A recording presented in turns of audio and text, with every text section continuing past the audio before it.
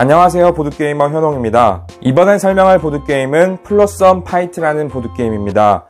이 게임은 플레이어들이 갖고 있는 보물카드를 빨리 이 배 위에 실는 플레이어가 승리하는 간단한 게임입니다. 한번 구성물을 살펴보도록 할게요.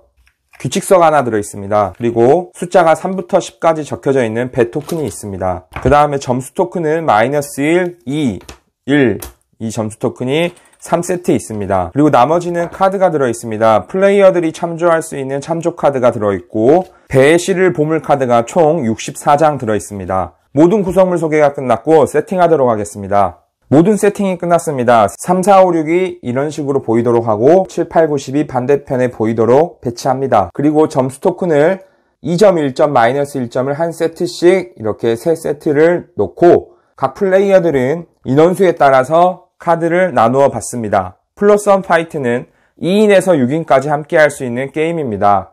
2인에서 5인이 함께 즐긴다면 각 플레이어마다 카드를 잘 섞어서 10장씩 나누어 주고 6인이라면 각 플레이어마다 8장의 카드를 나누어 주면 되겠습니다. 현재 4명이서 플레이한다고 가정하고 세팅하겠습니다. 그러면 각 플레이어마다 10장의 카드를 받고 남은 카드는 덱을 만들어 두어서 이 옆에 배치하면 되겠습니다. 이렇게 하면 모든 세팅이 끝났습니다. 만약 숙련자들이 함께 플레이를 한다면 10장의 카드를 받은 것을 드래프트 형식으로 받으면 되겠습니다. 드래프트라고 하는 것은 처음에 받은 10장 중에 자신이 원하는 카드 하나만 고르고 놓고 왼쪽 플레이어에게 9장의 카드를 넘깁니다. 나는 오른쪽 플레이어에게 받은 9장의 카드 중에 또 한 장을 고르고 내려놓고 이런 식으로 계속 시계 방향으로 카드 덱을 한 장씩 고르고 서로 넘겨줍니다. 내 손에 고른 카드가 10장이 될 때까지 이렇게 드래프트 방식으로 진행되고 그리고 나서 게임을 시작하면 되겠습니다. 이제 게임하는 방법을 설명하도록 하겠습니다. 자신의 차례에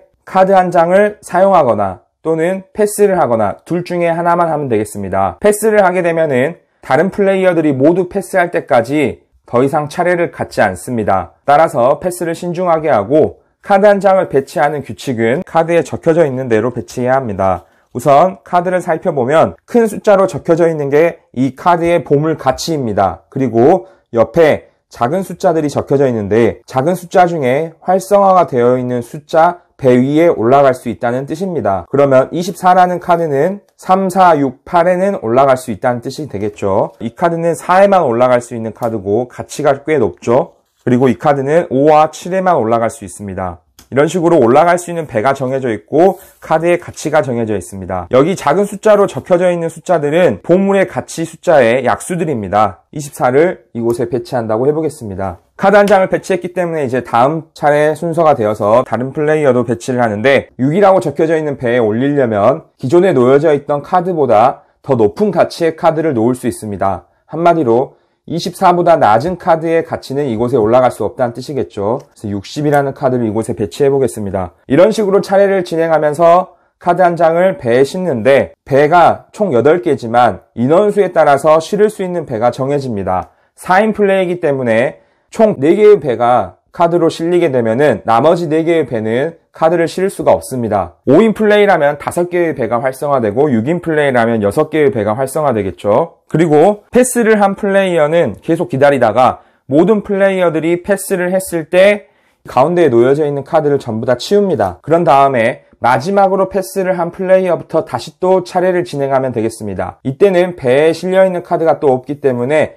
새롭게 4개의 배를 활성화해서 그곳에 실을 수 있게 됩니다. 그리고 여기에 추가로 페널티가 있는데 내가 카드를 지불하다가 한 장의 카드가 남았는데 이때 낼 수가 없어서 패스를 하게 된다면은 추가로 카드 덱에서 두 장의 카드를 더 받습니다.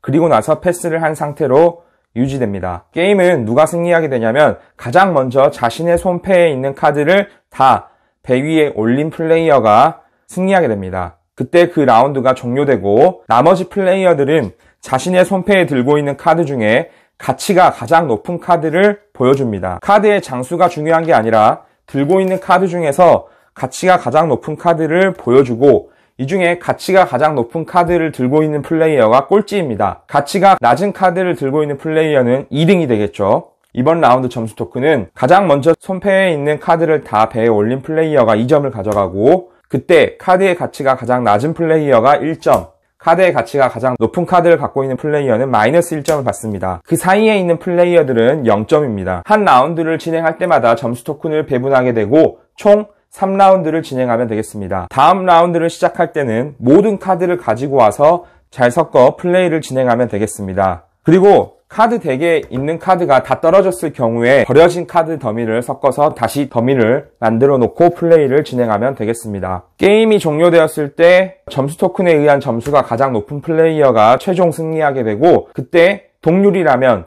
2점 토큰을 더 많이 획득한 플레이어가 승리하게 됩니다. 2점 토큰을 획득한 개수도 똑같다면 마지막 라운드에 2점 토큰을 가져간 플레이어가 승리하게 됩니다. Flotsam Fight는 이런 식으로 카드를 배치하는 간단한 게임이고 생각보다 치열하게 진행되기 때문에 이 보드게임의 이름답게 싸우지 않기를 바랍니다. 여기까지 해서 Flotsam Fight 룰 설명을 모두 마치도록 하겠습니다.